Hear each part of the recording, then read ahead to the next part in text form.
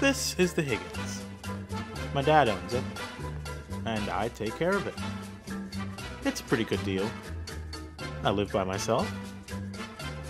I get a free apartment. And I pretty much have all the freedom I want. Salted or unsalted? And in return, I collect rent. Make sure the elevators are inspected.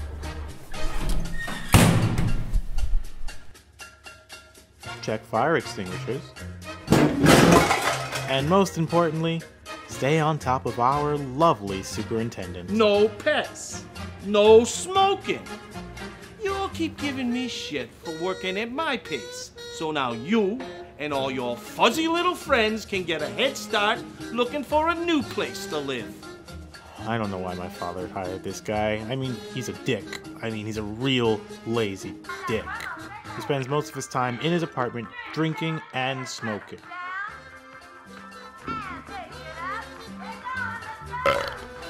Such a dick. We have many people from all walks of life. A new family.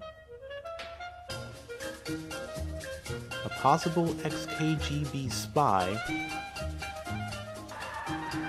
Gamers. Here's Francesca. Her and her husband Giuseppe owned and operated a local butcher shop for 40 years. Some say she's not even Italian and puts on the accent for business. This guy. All this guy does is hang out watching UFO videos on YouTube, smoke pot, and get passive aggressive with anyone who eats meat. And he does this. Today is February 3rd. It's Tuesday. And I think it's going to snow. I've lived here for close to eight years now. In that time. Shit. Douglas? Conrad, written any new tasty gems yet? I might have.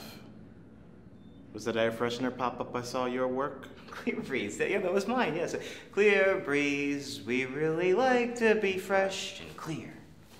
This is mine. I fucking hate you, dude. Here's an honorable mention Charlie. Weird Charlie. He stays in the basement, rummaging through garbage and old furniture. Sometimes he just stands outside near the front entrance and has this look on his face.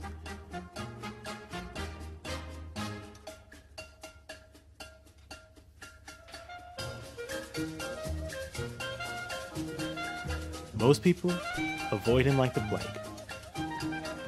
Enough about Charlie.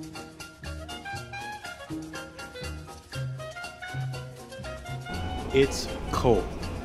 The super has yet to fix the heat, and this is going to be one of the worst nights of my life.